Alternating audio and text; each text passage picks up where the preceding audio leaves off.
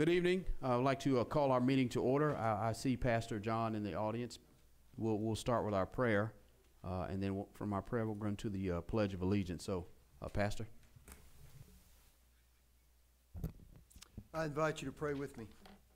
Heavenly Father, in the name of our Lord and Savior Jesus Christ, we come before your throne of grace and truth and salvation and power. You've said that the fear of the Lord is the beginning of wisdom, and we need wisdom here today. You created the institution of family and church and government, and we ask that uh, here as we meet to govern ourselves, we would do it with your guidance and with your wisdom. We ask this in the name of our Lord Jesus for his kingdom and his glory. Amen.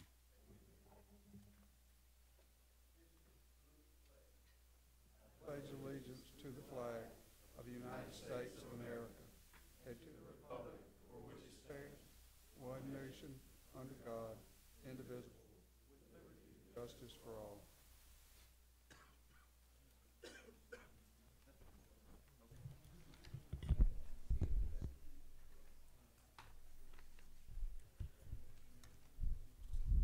Mr. Higginbotham, call roll, please. Councilman Boozer. President Logan. Here. Councilman Sullivan. Here.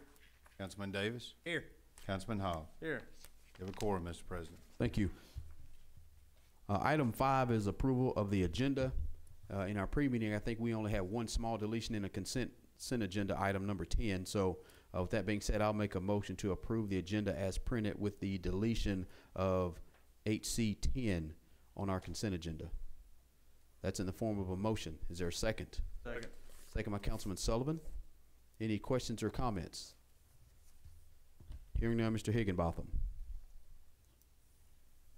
President Logan. Yes. Councilman Sullivan. Yes.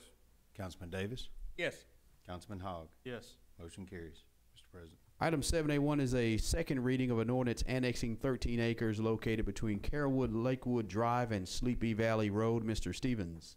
Uh, yes, sir. Like you said, this is the second reading of an annexation uh, for approximately 13 acres. Uh, it received favorable recommendation from the Planning Commission, and this is annexation only, and it will come in as AG agricultural zoning. I do know in our pre-meeting, we had some residents that expressed some concerns, uh, and I spoke with Mr. John, and he wanted to just have one or two, uh, items to maybe put forth on record, I, I'm assuming, John. Uh, and I think the surveyor may be in the audience. Just, I know, and again, let me just preface this by saying, I, this is just a, a motion before the council to grant the annexation. So again, step one of ten or maybe twenty, because I know planning and zoning's pretty much the, uh, the regulatory arm that will control what type, traffic, engineering, things of that nature. So again, council has to defer to that, that regulatory arm, but, but prior to that, so, John. Thank you. I wanted to ask some clarifying questions so we understand what we're talking about. Is Mr. Gore's surveyor here? Uh, Do you mind if I ask you some questions about the situation? Uh, How, Hey, hey, hey, hey, John, listen. sir. B- before we do that, again, I, I want to preface it because he still has to, because technically there's no, there's no plans, there's no proposals. Okay, So he has to go with his client's vision based on the regulatory constraints that the city has. So before we get into a Q and A, he, he doesn't have a whole lot to go on other than the, the fact that he's surveying property first. got you. And he may be able to just say, I'm not sure, but uh, there's some things we would very much like to know. Do you know how many homes are scheduled to be down in there? You could come up. I'm just saying, but but before again, I, I'll say this. I know his client probably hadn't given him a whole lot of information to go on. So again, you may get a I don't know or hey, that's That's fine.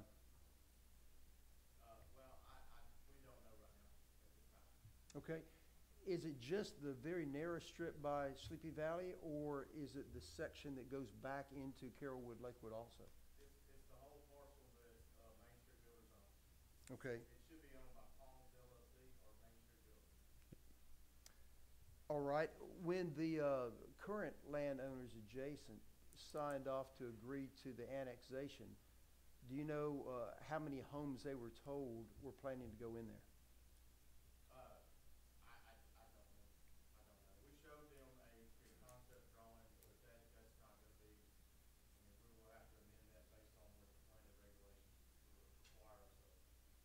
Okay, and were they told that they would uh, have to dig up their septic systems if they went on the city, uh, the city sewer? Uh, no, I will tell you straight up, they were told that Mr. Gore will provide them with sewer access to the sewer he will install, and that's the reason for the annexation. Okay, but no information about what would be done with their current septic systems? Well, their septic systems will have to be collapsed and abandoned while they get on the sewer. They will be on gravity sewer for the city. Right, right. Do they know that will be at their expenses? It will not be at their expenses, it will be at the expense of Mr. Gore. Okay, good. That's very helpful. Okay, good.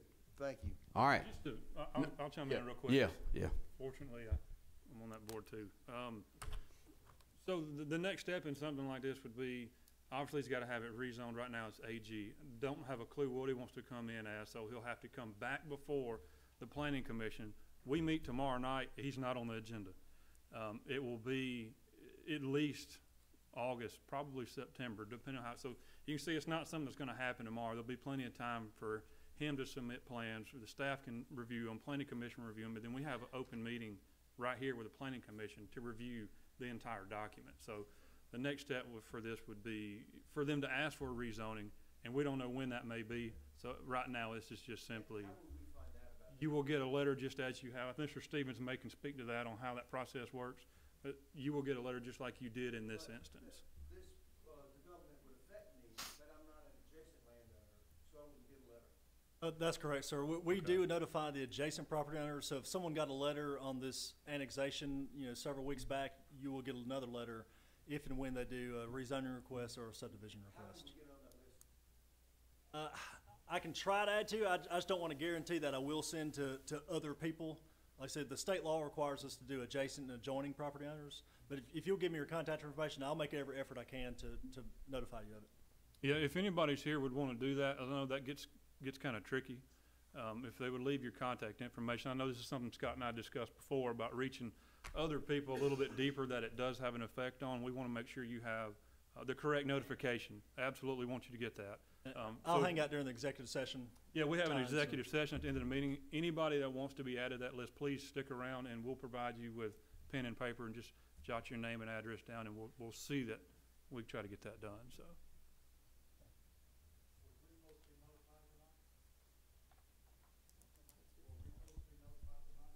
Uh, to, not to my knowledge, sir, I'm not, I'm not sure.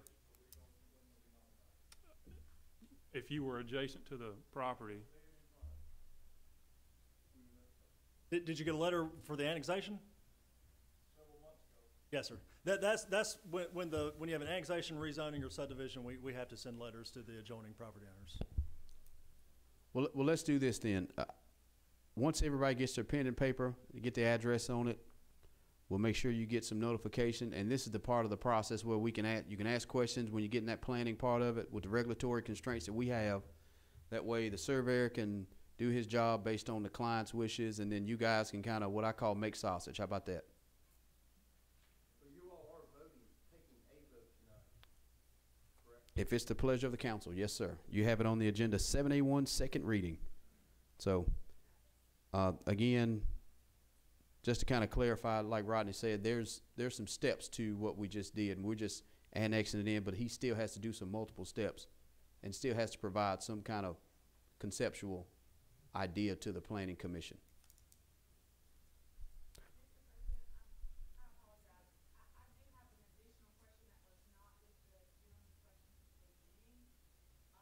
May we do this? Right, let's do this. After, after this meeting, we'll have to do it after the meeting because again, we're not that planning regulatory arm. I think Um, the most of the concerns are what is he doing, how many, he doing?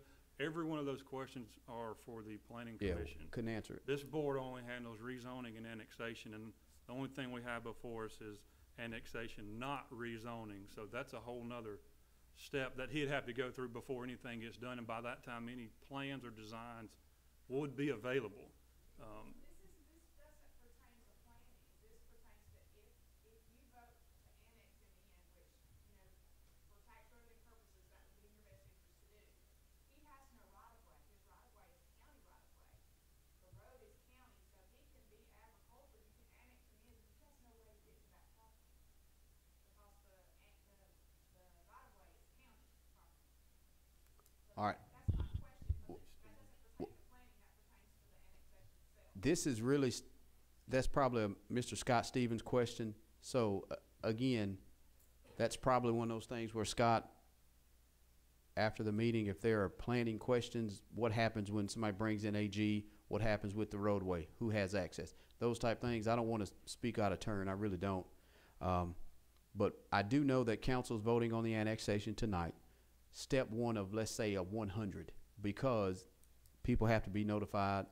Planning Commission has to review what the client or the developer or community builder is requesting to be, uh, developed. Uh, if it meets the constraints of the city's planning ordinances, then citizens like yourself have, have the right to go and voice and try to work with them or not work with them or whatever. But then it goes to the planning board for vote, favorable or not favorable. Could. I mean, my, I certainly would favor this being on the planning commission as the next step. Right now, that would actually give the city a little bit of control of what could happen in your backyard. Right now, we, we couldn't. I mean, they could cram anything they wanted to, right there, right now. So the positive side of this is it does give a little bit of control to what can happen there, and it's regulated by the city. Uh, which, what is, I feel a pretty good planning board, uh, that tries to take the residents' concerns and come to something that everybody can agree upon, so. Just my two cents. All right, again, seven A one is the second reading of an ordinance annexing thirteen acres located between Carewood, Lakewood Drive, and Sleepy Valley Road. Mr. Stevens has given, given us a synopsis regarding it. Is there a motion to adopt that ordinance granting the annexation of approximately thirteen acres located between Carewood, Lakewood Drive, and Sleepy Valley Road? I'll make that motion, Mr. President. That's a motion by Councilman Sullivan. Is there a second? Second. Second by Councilman Hogg. Any questions or comments? I know we heard some from citizens, but any questions or comments from mayor council? Hearing none, Mr. Higginbotham. Councilman Sullivan, Yes. Councilman Hogg, Yes. President Logan, Yes, Councilman Davis. Yes. Motion carries, Mr. President. thank you.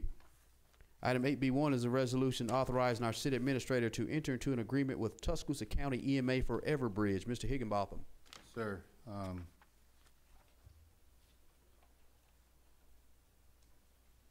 this is for the, um, find it. This is for our, uh, the city of Northport's, uh, part of the county-wide, um, emergency notification system. Uh, the system itself is actually being funded through, um, city of Northport and, uh, the Tuscaloosa County and the city of Tuscaloosa. Uh, What, what this resolution pertains to is our portion of that funding. Uh, This is for, this is an annual funding uh, in the amount of eight thousand eight hundred ninety dollars and thirteen cents. Uh, Next year, we will approach this again. It should be a little less. We don't know the exact amount at the moment, but it is expected to go down as well. All right, thank you. Is there a motion to adopt the resolution authorizing our city administrator's office to enter into an agreement with the Tuscaloosa County EMA for the Everbridge countywide notification system, and also authorize our city administrator's office to execute all necessary documents and requisitions pertaining to said agreement, uh, which has a dollar amount approximately eight thousand eight hundred and ninety dollars and thirteen cents. Is there a motion to approve? I'll make that motion. That's a motion by Councilman Davis. Is there a second? Second. Second by Councilman Sullivan. Any questions or comments? Hearing none, Mr. Higginbotham. Councilman Davis? Yes. Councilman Sullivan? Yes. President Logan? Yes. Councilman Hogg? Yes. Motion carries, Mr. President. Item two is a resolution authorizing the city administrator's office to enter into an agreement with Esri Incorporated for GIS software. Mr. Stevens. Uh, yes, sir, this is for the annual maintenance agreement for the desktop, uh, online and server software for the GIS system that we have. Total of twelve thousand one hundred seventy-one dollars and twenty-three cents. All right. Is there a motion to adopt that resolution? Make that motion. That's a motion by Councilman Hogg. Is there a second? Second. Second by Councilman Sullivan. Any questions or comments? Hearing now, Mr. Higginbotham. Councilman Hogg? Yes. Councilman Sullivan? Yes. President Logan? Yes. Councilman Davis? Yes. Motion carries, Mr. President. Item C is our consent agenda. We have fifteen items. Item ten was deleted, of course. They range from minutes of the previous meeting, bill listings, PO requisition, and travel and training uh, for our various departments. Is there a motion to approve that consent agenda as printed? Make that motion. That's a motion by Councilman Hogg. Is there a second? Second. Second by Councilman Davis. Any questions or comments? Hearing none, Mr. Higginbotham. Councilman Hogg, Yes. Councilman Davis, Yes. President Logan, Yes. Councilman Sullivan. Yes. Motion carries, Mr. President. Item nine is reports of special committees to council. We have none to report unless a mayor or member of council had wanted to add a, a, a bit to their report. That's not on the agenda. All right. Item ten is public hearings. We have none on the agenda. Item eleven, city administrator's business. Uh, Mr. Higginbotham. Um, I do not have any business, Mr. President. No departmental business tonight. Uh, item thirteen, public comment. We have one citizen signed to speak. Mr. Jody Jobson. Thank you, Mr. Jobson. Please state your name and address for the record. My name is Jody Jobson. I live at fifteen thirty-four Bellwood Lane, Northport, Alabama. And I'm here to thank you for listening to my comments this evening. My question is, are any, are all, are any of you aware of Tuscaloosa County Community Punishment and Corrections Authority? Say that again. Tuscaloosa County Community Punishment and Corrections Authority. Does it go by that name or is it called something else? Uh, That's all I have. I guess you could take TCC PCA. I don't Wow. know. Well, this was formed in two thousand thirteen, and, uh, it, the, their mission is ed- educate and rehabilitating nonviolent criminal offenders according to the Secretary of State's filing of this organization in in two thousand thirteen. But I don't think you're aware that the designee for the ci- designee for the city of Northport is Yes. Scott Collins. Yes, you're absolutely I'd right. like to make sure that somebody removes Mr. Collins from this board because he doesn't live here. Is that, is that, that was via ordinance, was it not? Uh, if, no, I don't know. It just says he was, I, I found, it. I've got the article of incorporation and all the listings of the board of directors, and that's all I found that it changed, and he's still the designee, uh. Well, let's, person to let's do talk this. to. Let's do this then. Can you get a copy to Ron and let us look at it and then, He can have this one. all I right, next available meeting, next available meeting, we'll, think Ron knows about it. we'll, we'll amend that. don't you? I, I do remember, that does ring some, somewhat of a bell, so. Well, I, I just appreciate y'all doing such a good job that we, we keep the, keep the work going and let's make sure that it doesn't kinda creep back in here from a, a distance, but if he's not gonna live here, he doesn't need to be representing Northport, Alabama. Thank you. Thank you, Mr. Thank you. We'll get that changed. No further citizens have signed up to speak. I think the next is, uh, mayor and council members' business.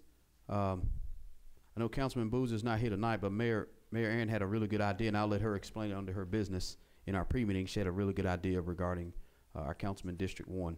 Uh, District Two, under my business, uh, my small advisory committee for my MLK improvement project, uh, we're gonna be meeting, uh, July twelfth. That's uh, Wednesday. It's just a small advisory committee meeting here at City Hall, so we can go and keep the project going. We're basically getting ready to have a public involvement meeting. So this is kind of a get caught up summertime meeting, so we can one meet with our engineering staff, meet with AlDOT, and then from there we'll have a uh, a good starting point for our last public involvement meeting that we that we're required to have. So uh, this Wednesday, July twelfth at six p.m.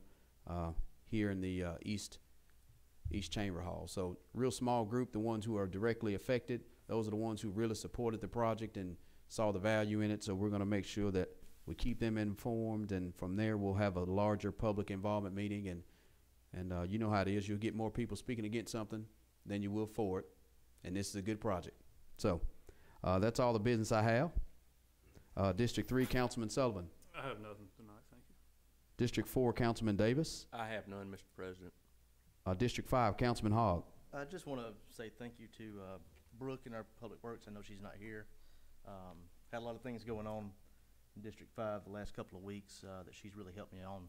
Uh, Also, Scott Stevens has been a big help, so thanks, Scott, and of course Chief Burton for your help as well on some of the items that we addressed in some of the neighborhoods. So just wanted to give some recognition to the- to the people behind the scenes that, that do a lot of work for us. Thank you. Mayor Aaron. Thank you, President Logan. Um, since we did have to appoint a new councilman in, in, uh, District One, and a lot of po- folks have not had the opportunity to really talk to him and get to know him, we thought that maybe next council meeting, when he is here, that we would have a little meet and greet and get to know your council representative from District One. We'll have it immediately following our council meeting. Like for y'all to come and spread the word and, um, he's aware of it, so he'll be here to answer questions and concerns that you might have. Thank you, Mayor.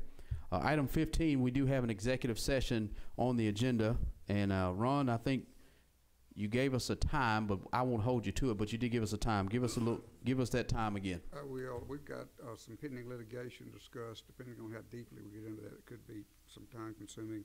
Got a real estate matter, one other matter to discuss. I'm gonna guess an hour, hopefully a lot less than that, but we will come back out and vote to adjourn, and that's all. All right, again, no action will be taken on executive session by state law. Uh, this should take no longer than sixty minutes, uh, again, and then we will conclude and adjourn the meeting. So again, this has to have unanimous consent. Ron? Just a majority, all right. Is there a motion to adjourn the meeting into executive session to discuss pending litigation and other matters? The session should take no longer than sixty minutes. It's anticipated the council will not take any action of the, after the executive session has concluded. So that, I'll take that in the form of a motion. Is there a second? Second. Second by Councilman Hogg. Any questions or comments? Hearing none, Mr. Higginbotham? Uh, President Logan, Yes. Councilman Hogg, Yes. Councilman Sullivan, Yes. Councilman Davis. Yes. Motion carries, Mr. President. Thank you. We're in executive session for sixty minutes.